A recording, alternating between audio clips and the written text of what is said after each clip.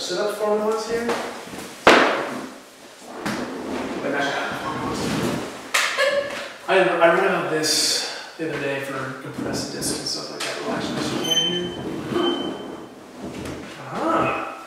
So come back up again formulas. So we see something cool here? So. so she's a good girl. We're doing this. That's it. Okay, lay that down. So she did a single leg balance that was strong, okay? So all I did there, that leg for me as you can. And nothing there. So why is that?